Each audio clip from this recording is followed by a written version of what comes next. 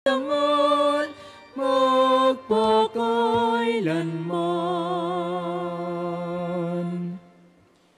Sa ngala ng Ama, ng Anak at ng Espiritu Santo, Amen. ang pagpapala ng ating Panginoong Kristo, ang pag-ibig ng Diyos Ama, at ang paikipagkaisa ng Espiritu Santo naway laging sumainyo. At sumayin rin. Mga kapatid, upang tayo ay maging marapat na gumanap sa banal na pagdiriwang na ito. Sama-sama muna nating aminin ang mga nagawa nating pagkukulang at pagkakasala sa Diyos, sa ating kapwa at sa ating mismong sarili.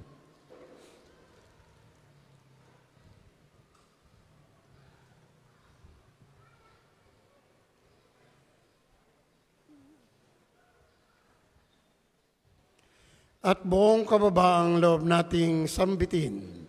Inaamin ko sa makapangyarihang Diyos at sa inyo mga kapatid, na lubha akong nagkasala sa isip, sa salita at sa gawa, at sa aking pagkukulang. Kaya isinasamo ko sa mahal na Birang Maria, sa lahat ng mga anghel at mga banal, at sa inyo mga kapatid na ako'y panalangin sa Panginoong ating Diyos. Kawan tayo na makapangyarihang Diyos, patawarin tayo sa ating mga kasalanan at patnubayan tayo sa buhay na walang hanggan. Amen. Panginoon, kawaan mo kami. Panginoon, kawan mo kami. Kristo,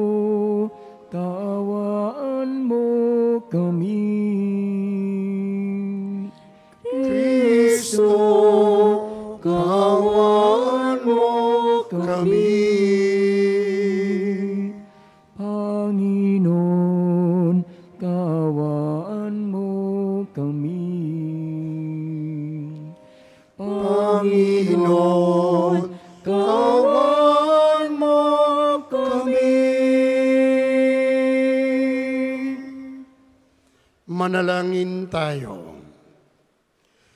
Ama naming makapangyarihan, nililiwanagan ng iyong maasahang ilaw ang mga naliligaw na iyong pinababalik sa daan para ikaw ay matagpuan. Sa mga kabilang sa nananalig sa iyong anak, ay pagkalooban mong makapagwaksi sa tanang salungat sa ngalang kristyanong sa iyo tinanggap upang ito'y talagang mapangatawan ng ganap sa pamamagitan ni Yesu Kristo kasama ng Espiritu Santo magpa sa walang hanggan. Amen. Pagbasa mula sa aklat ng Exodo.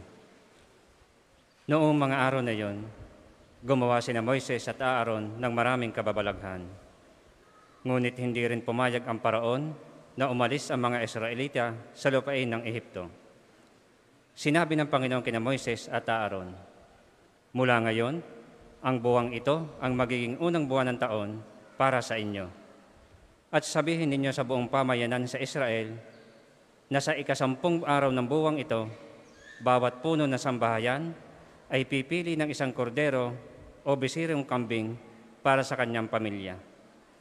Kung maliit ang pamilya at hindi makauubos ng isang buong kordero, magsasalo sila ng kalapit na pamilya na hindi rin makaka- makakaubos ng isang buo. Ang dami na magsasalo-salo sa isang kordero ay ibabatay sa dami ng makakain ng bawat isa. Kailangang ang kordero ay lalaki, isang taong gulang, walang pinsala o kapintasan. Kung walang tupa, ay kahit kambing. Aalagaan itong mabuti hanggang sa ikalabing apat na buwan at sa kinagabihan, sabay-sabay na papatayin ng buong bayan ang kani-kanilang kordero. Kukuha sila ng dugo nito at ipapahid sa mga hamba at sombrero ng pintuan sa, saka ng kakainan ng kordero. Sa gabi ring iyon, lilitsunin ito at kakanin kasama ang tinapay na walang libadura at ng mapapait na gulay. Huwag ninyong kakanin ng hilaw o nilaga ang kordero. Litsunin ito ng buo, kasama ang ulo, ang mangpata, ang mga lam- laman loob. Huwag kayong magtitira para sa kinabukasan. Kung may matitira, sunugin pagkaumaga. Ganito naman ang magiging ayos ninyo sa pagkain nito.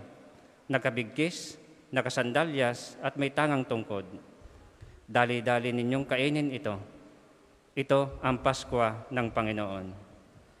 Sa gabing iyon, lilibutin ko ang buong Ehipto at papatayin ang lahat ng panganay na lalaki, maging tao o hayop man. At parurusahan ko ang lahat ng Diyos-Diyosan sa Ehipto. Ako ang Panginoon. Lalampasan ko ang lahat ng bahay na makita kong may pahid ng dugo at walang pinsalang mangyay- mangyayari sa inyo sa pagpaparusa ko sa buong Ehipto. Ang dugo ang siyang magiging palatandaan na, na Israelita ang nakatira sa bahay na iyon. Ang araw na ito'y magiging ipinagdiriwag ninyo magpakailanman bilang pista ng Panginoon. Ang salita ng Diyos. Salamat sa Diyos. Antugon po sa Salmo, sa Panginoong tumubos, kalis ng inumi handog. Sa Panginooy tumubos, kalis ng inumi handog. Sa Diyos kat Panginoon, anong aking ihahandog? Sa lahat ng kabutihan na sa akin ay kaloob. Ang handog ko sa dambana ay inumin na masarap, bilang aking pagkilala sa ganiwang pagliligtas. Sa Panginoong tumubos, kalis ng inumi handog. Masakit ang kalooban ng puon kung may papanaw. Kahit ito ay iisa, labis siyang nagdaramdam. Katulad ng aking ina, maglilingkod akong lubos. Yamang ako'y iniligtas, kinalinga at tinubos. Sa Panginoong tumubos, kalis ng inumi handog. Ako ngayon maghahandog ng haing pasasalamat. Ang handog kong panalangin sa iyo ko ilalagak.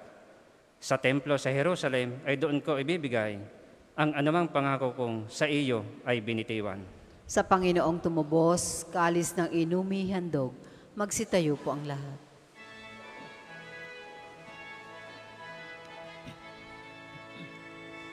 Alleluia,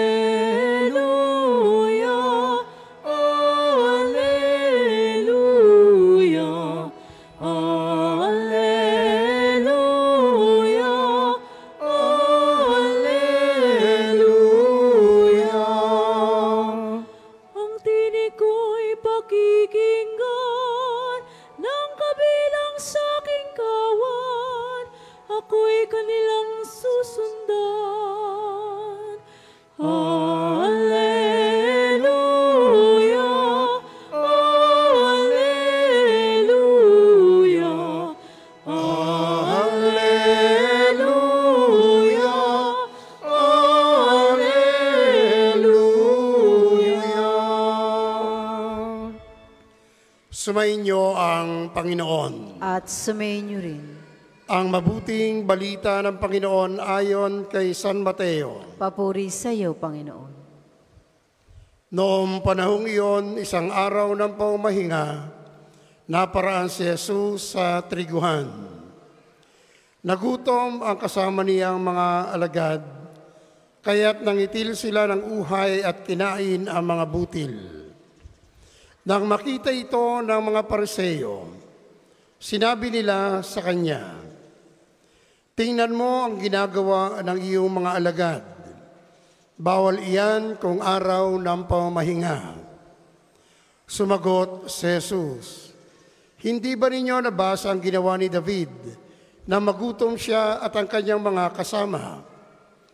Pumasok siya sa bahay ng Diyos at kumain ng tinapay na handog sa Diyos at pinakain din niya ang kanyang mga kasama. Labag sa kautusan na kanin nila ang tinapay na iyon, sapagkat ang mga saserdote lamang ang may karapatang kumain iyon. Hindi pa ba ninyo nababasa sa kautusan ni Moises na tuwing araw ng pamamahinga, lumalabag sa batas tungkol sa araw na ito ang mga saserdote sa templo, gayon may hindi nila ipinagkakasala iyon. Sinasabi ko sa inyo, Naririto ang isang higit na dakila kaysa templo. Hindi sana ninyo hinatulan ang mga walang sala kung alam ninyong ang kahulugan ng mga salitang ito. Habag ang ibig ko, hindi hain. Sapagkat ang araw ng pamahinga ay nasa ilalim ng kapangyarihan ng anak ng tao.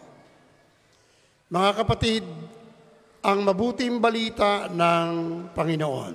Pinupuri ka namin, Panginoong Heso Kristo. Magandang umaga po sa inyong lahat.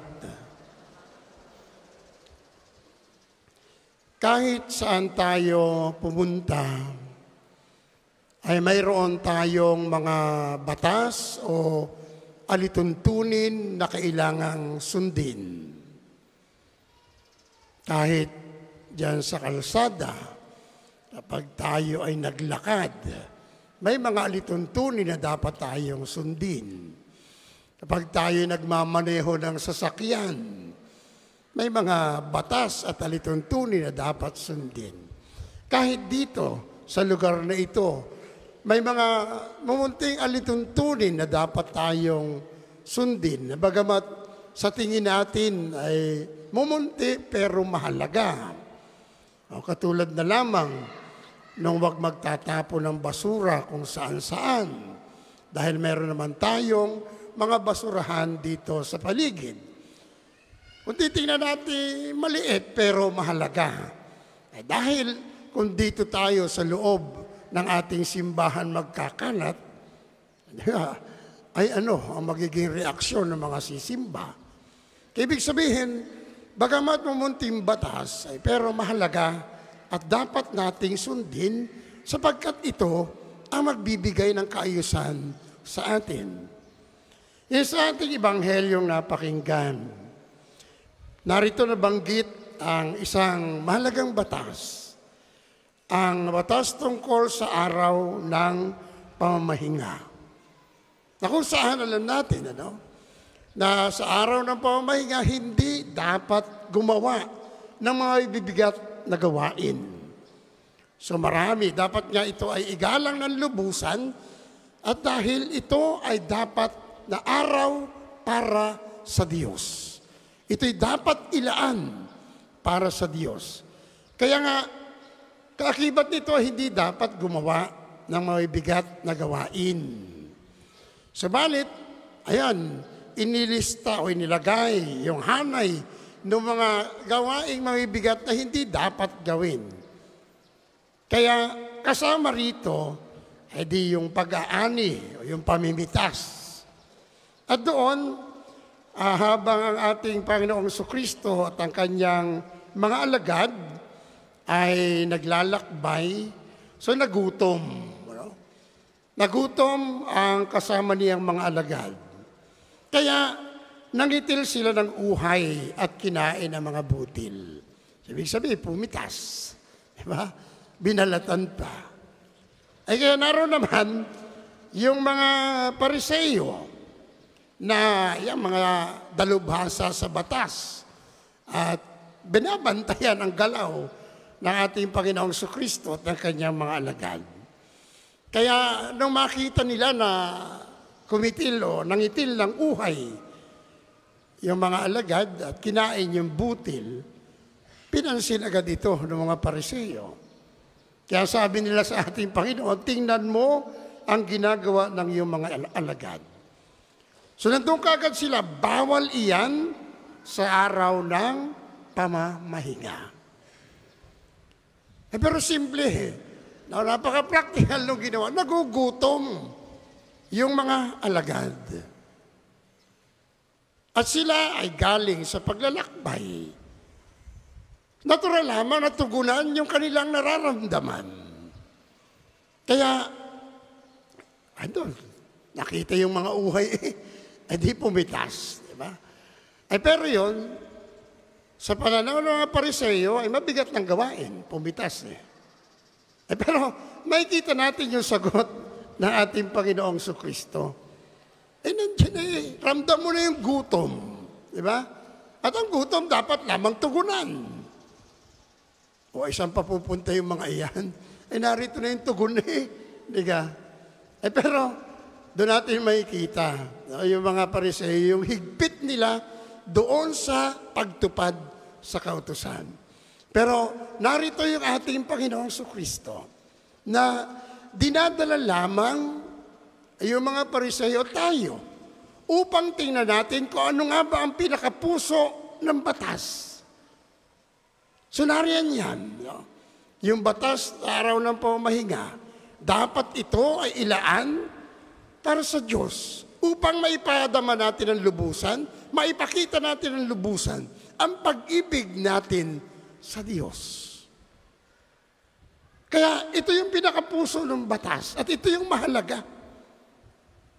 Kaya doon, sabi ng, doon binibigyan diin ng ating Panginoong Kristo kung ano yung mahalaga. Ito mismo. Ito yung puso ng batas eh. Yung pag-ibig sa Diyos. At yung ginagawa ng ating Panginoon ang kanyang mga alagad ay tunay na paglilingkod sa Diyos. Kung kaya nga sila ay nakakadama ng pagod, nakakadama ng gutom na dapat tugunan. Kaya dito ay binibigyan din ng ating Panginoong Kristo na dapat makuha natin ang lubusin yung pinakapuso ng batas na itong araw ng pamamahinga ay inilaan upang tayo ay makapagpadama ng lubusan ng ating lubos na pag-ibig sa Diyos. Kaya doon tayo dinadala ng ating Panginoon.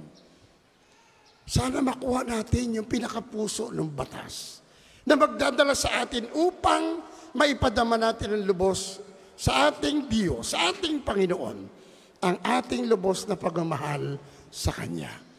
Kaya, tingnan natin ang lubusan, kung paano natin sinusunod ang batas ng ating Panginoon. Nawa, sa pagsunod natin sa utos ng Diyos, makita lagi natin na ang ugat nito ay yung pag-ibig. Nawa, madala tayo ng lahat ng ito sa lubos na pag-ibig sa Diyos at pag-ibig sa ating kapwa. Kaya, hindi natin masasabi na iniibig natin ang Diyos kung hindi naman natin iniibig ang ating kapwa. Kaya sana, lagi nating makita yung kahalagahan ng utos na ito. So dito nauuwi ang lahat ng batas, ang lahat ng utos sa pag-ibig. At tayo dinadala nito upang tayo ay makapaglaan ng lubos na pag-ibig sa Diyos sa pamamagitan ng pag-ibig natin sa ating kapwa. Kaya sana sa paikipag-isa natin sa ating Panginoon sa banal na Eucharistia, madala tayo nito upang maipadama natin ang lubusan ang ating pag-ibig sa Diyos sa pamamagitan ng pag-ibig at paglilingkod natin sa ating kapwa, lalo tigit sa mga nangangailangan, sapagkat ito ang ibinigay niya sa atin na siyang daan natin patungo sa ating kaligtasan. Para sa mga maghahandog ng sobre, pakihulog na lamang po sa buslo.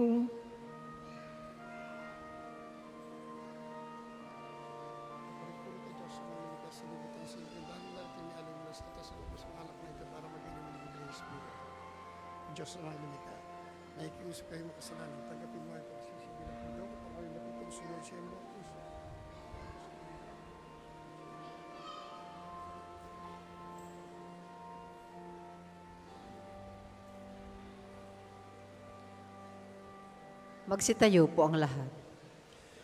Manalangin kayo mga kapatid upang paghahain natin ay kalugdan ng Diyos amang makapangyarihan. Tanggapin nawa ng Panginoon itong paghahain sa mga kamay, sa kapurihan niya at karangalan, sa ating kapakinabangan, at sa buong sambayanan niyang banal.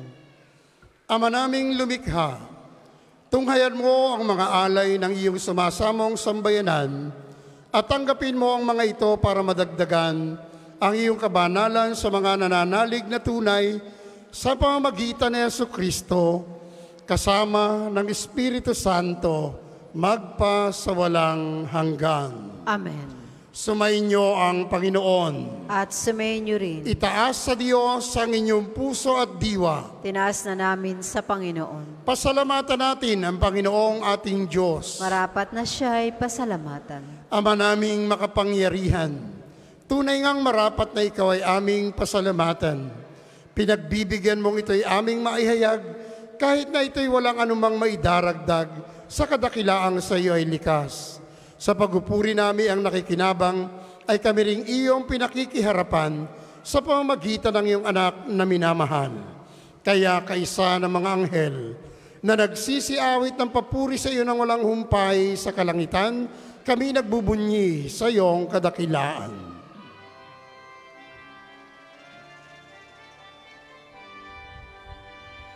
Banal ka pong may kapal, banal ang iyong pangalan, banal ang iyong kaharian. Langit lupa'y nagpupugay sa iyong kadakilan. Dinadakila ng lahat ang naparito mong anak na siyang nagmulat sa bulag, sa pilay ay napalakad, at nakiramay sa lahat. Kung hindi kayang lumuhod, manatili pong nakatayo na may pagalang. Ama naming banal, ikaw ang bukal ng tanang kabanalan. Kaya't sa pamagitan ng iyong Espiritu, gawin mong banal ang mga kaloob na ito upang para sa amin ay maging katawan at dugo ng aming Panginoong Heso Kristo. Bago niya pinagtiisang kusang loob na maging handog, hinawakan niya ang tinapay. Pinasalamatan kaniya, pinagati-hati niya iyon. Iniabot sa kanyang mga alagad at sinabi, Tanggapin ninyong lahat ito at kanin. Ito ang aking katawan na iyahandog para sa inyo.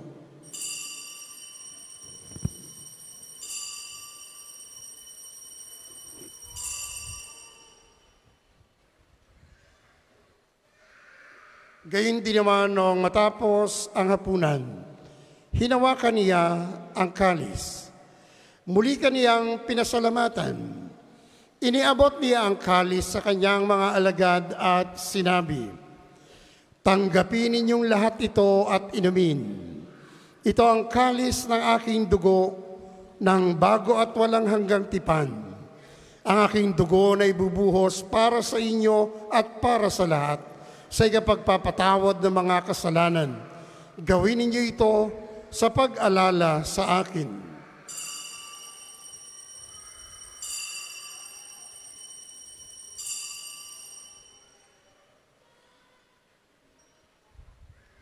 Ipagbunyi natin ang misteryo ng pananampalataya. Sa krus mo't pagkabuhay, kami natubos mong tulay. Pong Jesus, naming mahal, iligtas mo kami tanan. Magpakailanman, ngayon at magpakailanman. Ang mga ginagawa namin ngayon ng pag-alala sa pagkamatay at muling pagkabuhay ng iyong anak, kaya tiniaalay namin sa iyo ang tinapay na nagbibigay buhay at ang kalis na nagkakaloob ng kaligtasan. Kami nagpapasalamat dahil kami iyong minarapat na tumayo sa harap mo para maglingkod sa iyo. Sinasamo namin kaming magsasalo-salo sa katawan at dugo ni Kristo ay mabuklod sa pagkakaisa sa pamamagitan ng Espiritu Santo. Ama, lingapin mo ang iyong simbahang laganap sa buong daigdig.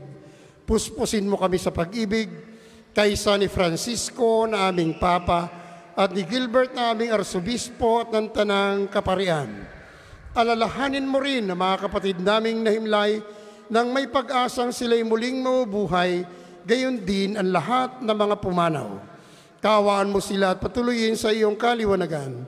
Kawaan mo at pagindapating kaming lahat na makasalo sa iyong buhay na walang wakas kaysa ng mahal na Birheng Maria na ina ng Diyos, ni San Jose na kanyang kalinis-linisang esposo, kaysa ng mga apostol at ng lahat ng mga banal na namuhay dito sa daigdig ng kalugod-lugod sa iyo, may pagdiwang nawa namin ang pagupuri sa ikararangal mo sa pamamagitan ng iyong anak na aming Panginoong Heso Kristo.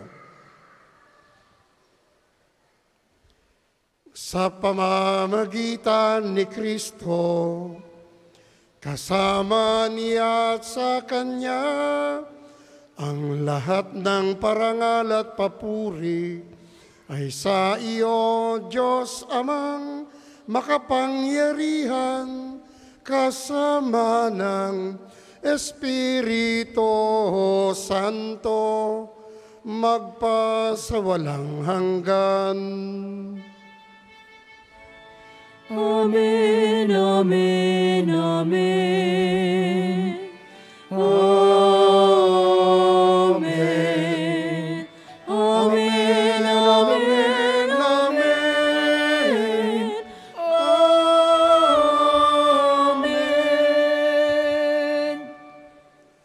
Sa tagubili ng mga nakagagaling na utos at turo ni Jesus sa Panginoon natin at Diyos, ipahayag natin ang lakas loob. Ama namin, Sumasalangit ka, sambahin ang ngalan mo. Mapasa amin kaharian mo. Sundin ang loob dito sa lupa para lang sa langit. Bigyan mo kami ngayon ng aming kakanin sa araw-araw.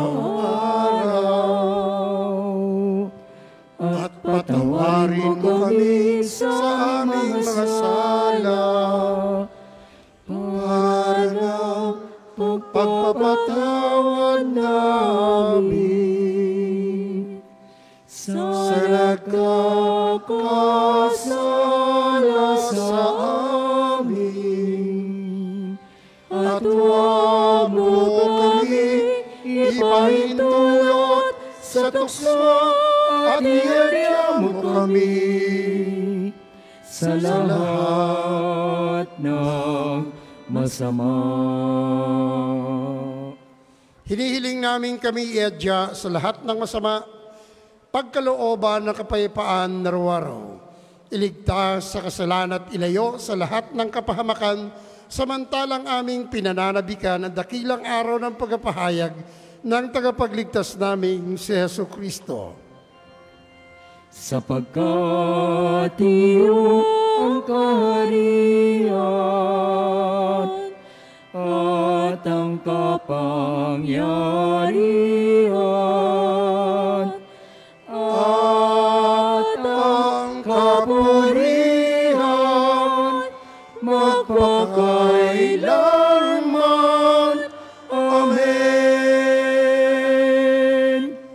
Panginoong Kristo, sinabi mo sa iyong mga apostol, kapayapaan ang iniiwan ko sa inyo, ang aking kapayapaan ang ibinibigay ko sa inyo. Tunghayan mo ang aming pananampalataya at huwag ang aming mga pagkakasala. Pagkalooban mo kami ng kapayapaan at pagkakaisahin sa iyong kalooban, kasama ng Espiritu Santo, magpa sa walang hanggan. Amen. Ang kapayapaan ng Panginoon ay laging sumainyo. At sumainyo rin. Magbigayan kayo at maghangad ng kapayapaan sa isa't isa. Peace be with you, peace be with you. Kordero ng Diyos, nag-aalis sa mga kasalanan ng sanlibutan, maawa ka sa amin. Kordero ng Diyos, nag-aalis sa mga kasalanan ng sanlibutan, maawa ka sa amin. Kordero ng Diyos, nag-aalis sa mga kasalanan ng sanlibutan, pagkaloob mo sa amin ang kapayapaan. Kung hindi kayang lumuhod, manatili pong nakatayo na may pagalang.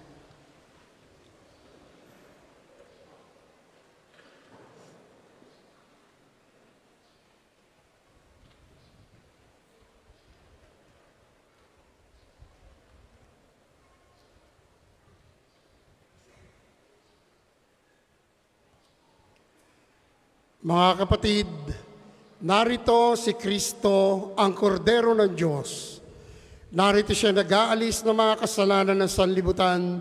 Mapalad tayong inanyiyahan sa kanyang banal na piging. Panginoon, Panginoon, di ako karapat dapat na magpatuloy sa iyo, ngunit sa isang salita mo lamang ay gagaling na ako.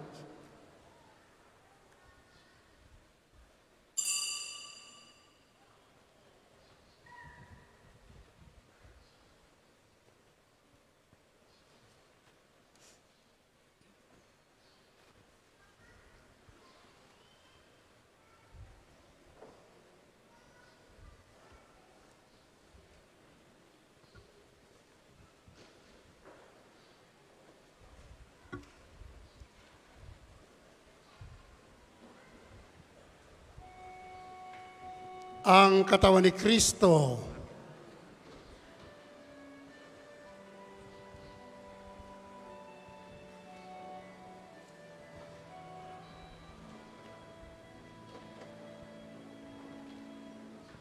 Jesum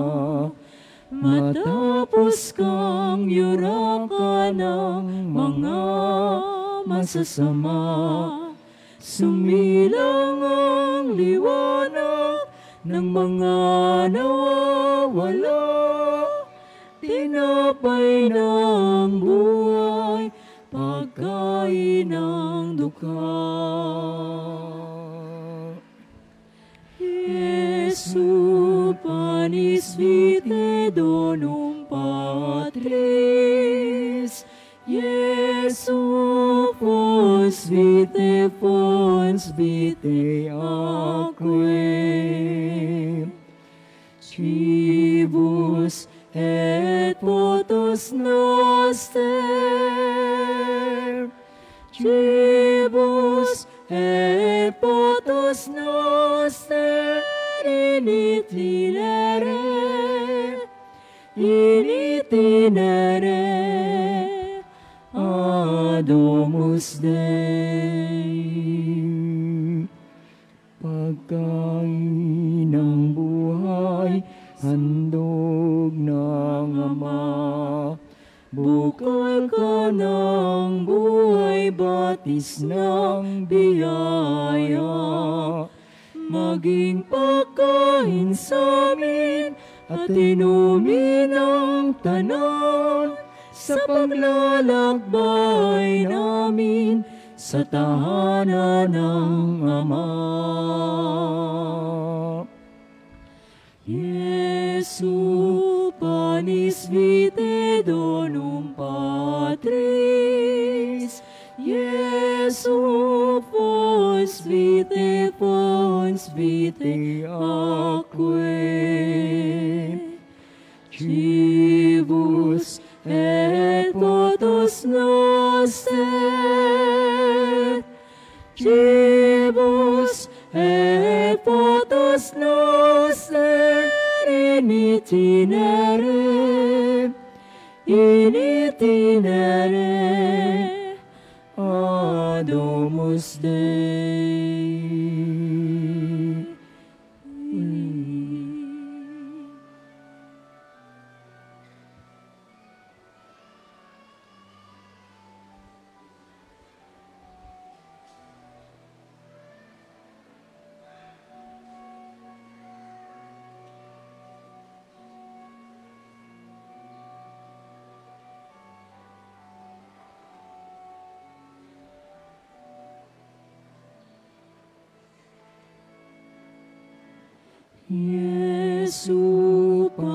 panis vitae donum Patris,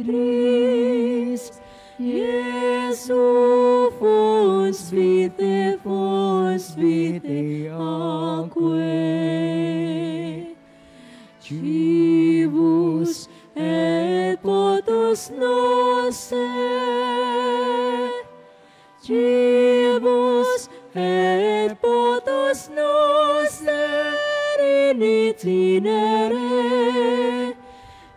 In itinere, Adomus Dei.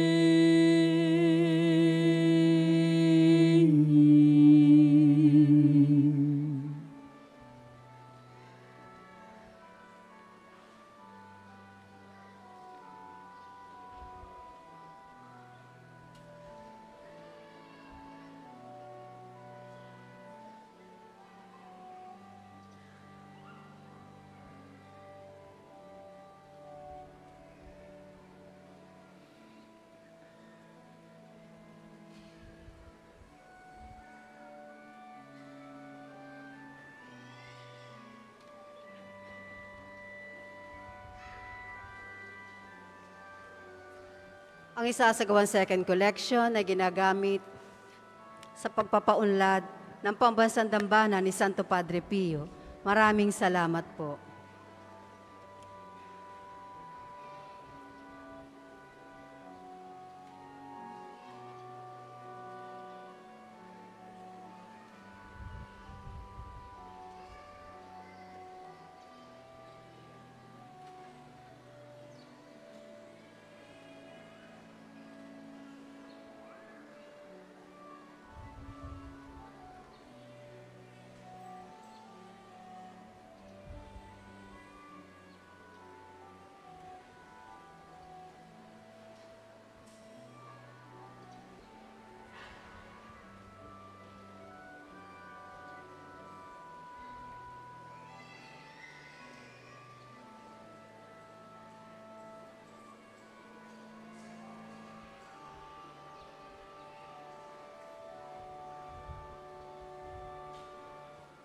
Tayo po ay magsitayo.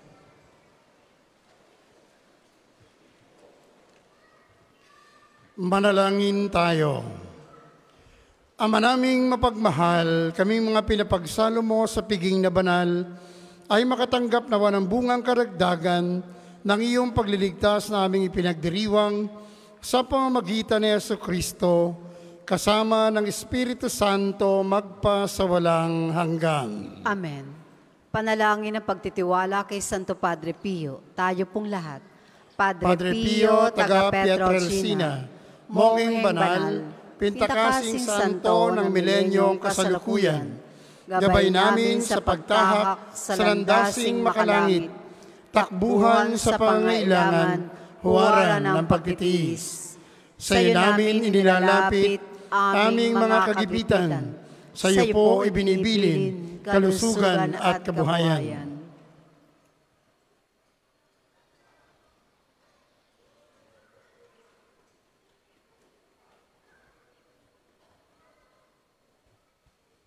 Di man karapat dapat, Kami po ay pagbigyan, bendisyonan at basbasan, maging ganap sa buhay. Lumayo nawa kami, umiwas sa kasalanan, lumapit lagi sa Diyos, maging matatag at matibay. Sa mabuting balita ng pagliligtas, turuan mo kami nawa. Sa tuwin ay makinig, magnilay at sumampalataya. Amin po ang pakiusap, itong mga kahilingan. Puso ay nagsisisi, nagtitikang taimtiman. di na muli magkasala, sunod lagi sa Diyos Amang, kaysa ng Espiritu, at ni Jesus sa tagapamagitan. Amen. Magsiupo muna po ang lahat para sa ilang patalastas. Una, sa inyong pagdalaw sa pambansang dambana, mangyaring pakaingatan ninyong mga personal na gamit. Hangad namin na isang matiwasay at maayos sa pagbisita sa National Shrine. Ikalawa, kung niyo pong mapapansin ay sinasagawa na natin ang pagsasaayos ng extension area sa gilid ng main church at ang minor repairs ng Divine Mercy Sanctuary. Muli po kami nananawagan sa mga may mabubuting puso na nagnanais maging bahagi ng paggawaing ito. Mangyaring makipag-ugnayan po kayo sa opisina ng parokya o sa pamisahan para sa inyong mga tulong at donasyon. Ikatlo, mga kapiyo, ang osteria ay lugar dito sa pambansang Dambana na maaring puntahan at kainan ng mga bumibisita dito. Tinayo natin ito bilang bahagi ng updated complementary norms to the 1983 Canon Law and requirement of the CBCP as a national shrine. Kaugnay nito ay mahigpit tayong pinalalahanan sa ating panawagang Clego, Clean as you go, sa lahat ng lugar sa loob ng pambansang dambana, lalo tigit sa osteria. Paalala po, huwag iwanan ng kalat sa mga upuan. Tayo po ay may mga basurahan sa likod at gilid ng ating simbahan. Pinapalam din po sa lahat na gamit ang ating main arc entrance, tayo may malalaking safe and free parking dito sa loob ng pambansang dambana. Ikaapat, mga kapiyo, palagi po natin tandaan na ang pambansang dambana ay isang sagrado at banal na lugar. Mangyaring sa pagbisita natin dito ay sundin ang mga tama at angkop na kasuotan tanda ng pagsamba at pagbigay bigay galang sa ating Panginoon. Ikalima, isang patalastas, bahagi ng layuning pagpapaunlad ad experimentum ng parokya at pambansang dambana ni Santo Padre Pio. Simula po noong Hunyo ay sa kapilya na ng San Pedro pinagdiriwang ang mga pamparokyang gawaing sakramental tulad ng binyag, kasal at mga katulad nito Gayunpaman, ang iyong makikitang mga pagdiriwang ng kasal dito sa main church, ngayong buwan ng Hulyo ay mga nakareserve na schedule noong nagdantaon pa at nagkataong napasabay naman sa pagsasaayos ng Divine Mercy Sanctuary. Mangyaring makipag-unayan po kayo sa opisina para sa mga paglilinaw at katanungan. At sa darating na ikadalawamput-tatlo ng buwan ay araw ng pagpapagaling sa pamamagitan ni Santo Padre Pio. Ang healing mass liturgy ay magpapa ay may pagpapahid ng langis ay sa ikasyam na umaga at ikalima ng hapon. Kayo ay inyong mga may sakit ay inaanyayahan. Ang susunod pong misa ay sa ganap na ikalabindalawa ng tanghali. Maraming salamat pat mangyaring panatilihin natin ang kalinisan, katahimikan at diwa ng pananalangin sa loob at labas ng ating mga simbahan. Magsitayo pong lahat para sa pagbabasbas ng religious articles.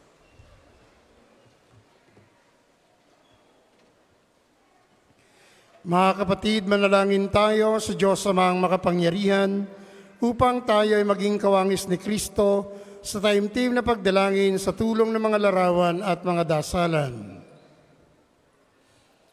O Panginoong Diyos, Ikaw ang bukal ng lahat ng pagpapala at biyaya. Ibuhos mo ang iyong bendisyon sa mga gamit na ito sa pananalangin, mga rosaryo, imahin at dasalan na nagpapaalala ng iyong kabutihan kabanalan at pagmamahal sa amin, upang ang lahat dumulog at magdasal, gamit ang mga ito, ay magtamo ng iyong awat biyaya. Loobin mong tularan nila ang kabanalan at aral ng Panginoon at ng mga santo, magpa sa walang hanggan. Amen. Ama namin, sumasalangit ka, sambahin ang ngalan mo, mapasa amin ang kaharian mo, sundin ang loob mo dito sa lupa para nang sa langit. Bigyan mo kami ngayon ng aming kakanin sa araw-araw at patawarin mo kami sa aming mga sala para ng pagpapatawad namin sa nagkakasala sa amin. At huwag mo kaming ipahintulot sa tukso at iadya mo kami sa lahat na masama. Aba, Ginoong Maria, napupuno ka ng grasya, Ang Panginoon Diyos ay sumasa iyo.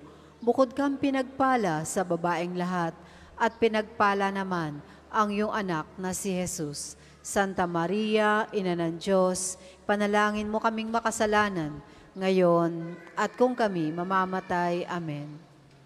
Papuri sa Ama, sa Anak at sa Espiritu Santo, kapara noong una, ngayon at magpasawalang hanggan. Amen. Ama namin, sumasalangit ka, sambahin ang ngalan mo, mapasa amin ang kaharian mo, sundin ang loob mo dito sa lupa para nang sa langit. Bigyan mo kami ngayon ng aming kakanin sa araw-araw at patawarin mo kami sa aming mga sala para nang pagpapatawad namin sa nagkakasala sa amin. At huwag mo kaming ipahintulot sa tukso at iadya mo kami sa lahat na masama. Aba, Ginoong Maria, napupuno ka ng grasya. Ang Panginoon Diyos ay sumasa iyo. Bukod kang pinagpala sa babaeng lahat, at pinagpala naman ang iyong anak na si Jesus. Santa Maria, Ina ng Diyos, ipanalangin mo kaming makasalanan, ngayon at kung kami mamamatay. Amen. Papuri sa Ama, sa Anak at sa Espiritu Santo, kapara noong una, ngayon, at magpasawalang hanggan. Amen. Ama namin, sumasalangit ka, sambahin ang ngalan mo, mapasa amin ang kaharian mo, sundin ang loob mo dito sa lupa para nang sa langit. Bigyan mo kami ngayon ng aming kakanin sa araw-araw, at patawarin mo kami sa aming mga sala, para nang pagpapatawad namin sa nagkakasala sa amin at huwag mo kaming ipahintulot sa tukso at iadya mo kami sa lahat na masama. Papuri sa Ama, sa Anak at sa Espiritu Santo, kapara noong una, ngayon, at magpasawalang hanggan. Amen.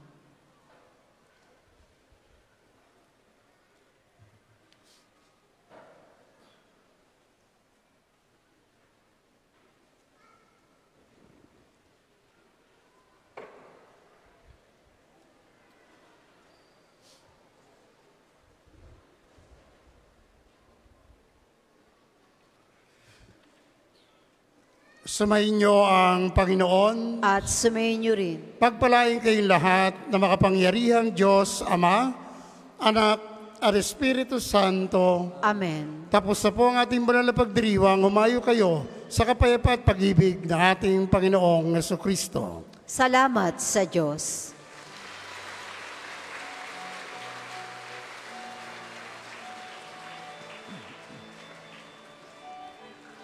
Umayo na tipayag, kanyang pagkalinga tabag, isabuhay pag-ibig at katarungan, tanda ng kanyang kaharian.